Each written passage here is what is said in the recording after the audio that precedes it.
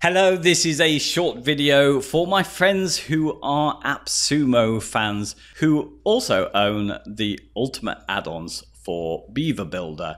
Now I'm hoping this video might save you some money because presently over at AppSumo they have a deal on Linklay which is a service that aims to increase your revenue by creating shoppable images. It's a fantastic idea and the deal looks great. It's only $39 for life, potentially saving you $2,000. But you won't need to buy this if you've got the Ultimate add-ons. Now let me just show you what the service does by going over to the Linklay site and there's lots of examples on this but really you are able to upload an image to their server and add in these clickable hotspots where you add in a button which encourages someone to go off to the link of your choosing and buy that product. So you could, I guess, use it internally if you've got your own e-commerce store or if you're an affiliate marketer and you want to send someone to someone else's site, you could use this. But as I was saying, you don't need it if you've got the ultimate add-ons for Beaver Builder because if I go over to one of their newer modules called Hotspot, it does pretty much the same thing. Now I'm on their site here on their example and it's not so obvious it does the same because here we are. You can see this just has a rollover effect and some text. But on my own live demo site over at ultimate.beaverjunction.com forward slash hotspot, you'll find that under modules here. I've set up an example. Let's go to the second example. And if I click here, you'll see it pretty much looks the same thing just click on there and that takes you to where you want to be. And it's all there really in the module. The only thing I needed to do was to make this anchor text look like a button. So it's uh, you know more attractive to click on. And I've done that with a little bit of CSS. So you could grab this and place this either in your styles.css file. But in this case, I've actually added it to this page because it's only this page that I want this to apply to. But it's it's specific enough for you to put it globally and it'll only affect those UIB hotspots. So let me just quickly show you inside. I'll go into the page builder so you can just see how it's set up. Really nothing very complicated about it at all. Um, let me head down there. So obviously once you've got UABB installed, you go down to the H's and you'll find hotspot there and drag that in.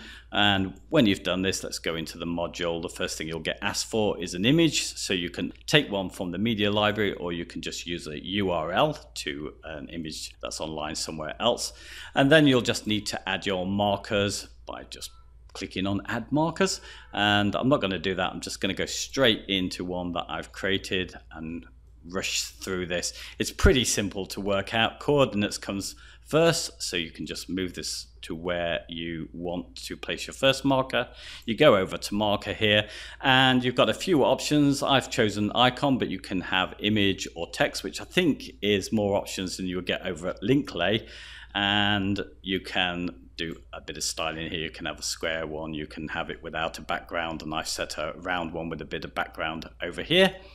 And I've also put animation, which is probably quite subtle, but it was a little effect around here. Uh, you might see it, but uh, it's a, a, subtle effect. And everything really happens over on the next tab called action, where you can set it to be a tooltip, which you'll need in this case, rather than a link, which will just go directly to the page of your choice. And then, because you've got the WYSIWYG editor here, all you need to do is to put in your text and your link, which I've styled, the anchor text is styled to create that button. And that's pretty much it. You've got a few options here about the type of tooltip you have. I've got classic here. I think I'm using curved here, slightly different ones.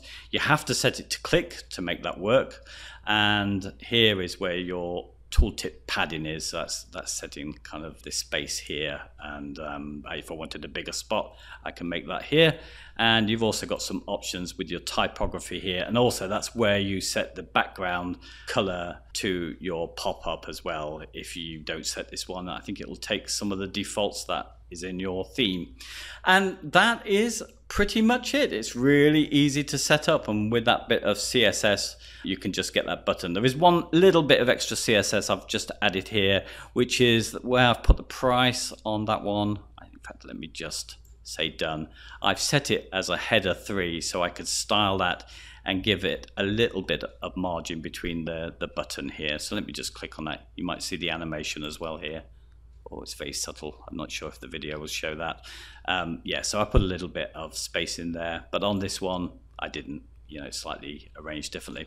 So the only thing that you're going to lose out from Linklay is the fact that Linklay does offer to gather some statistics on the links that are clicked on, but of course you could set that up for yourself. The advantage of using the Ultimate add-ons is the fact that you're you've got it on your own server. You don't have to embed Linklay's service onto your site, so it's probably going to be quicker on your pages. So I hope that was useful. If I have saved you some money, then please give me a like Otherwise, I shall see you on the next video. Thanks for listening. Bye bye.